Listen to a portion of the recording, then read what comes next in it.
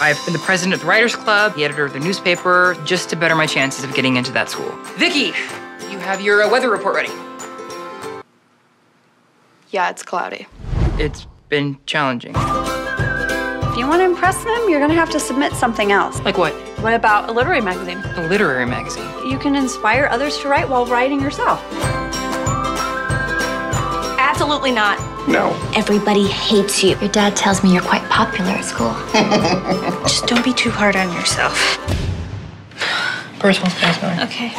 Operation Clovercade's in effect.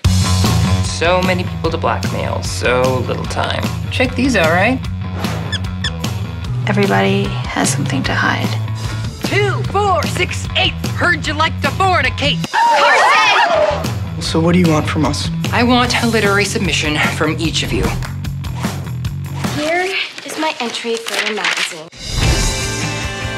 It must be really nice to have plans to journey out into the world, but some of us don't have that capability. Why are you stuck here?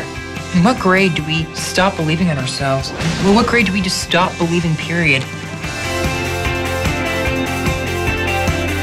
Life comes at you fast. It runs through your body and tries to escape and be expressed in any way possible. In a way, it's a lot like lightning.